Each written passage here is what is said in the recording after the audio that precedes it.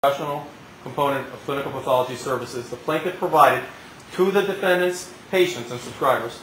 Total amount, one million, five hundred forty-six thousand, four hundred and seventy-nine dollars. That's what it is. They never contested. Never said it was unreasonable. Never said the interest calculations were wrong. Presented no evidence on that. Nothing. Where's the scale of justice on that? Here's the proof the plaintiff put in. What did the defendant do? Nothing. Nothing. Why? Because that's not what this case is about to the defendant. To the defendant, the battle line was drawn in this courtroom to never have to pay the professional component of clinical pathology services.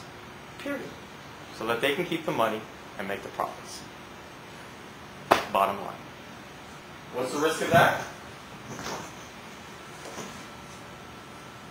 The defendant's failure to pay results in a risk to patient health care, increased risk of death, loss of quality control, less accuracy in reporting, less safety, promotes doctors leaving Florida.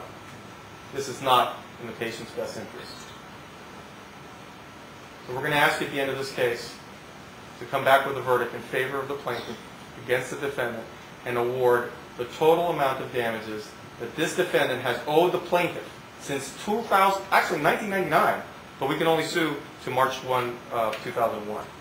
Sitting there with plaintiff's money. It's time for the defendant to pay up.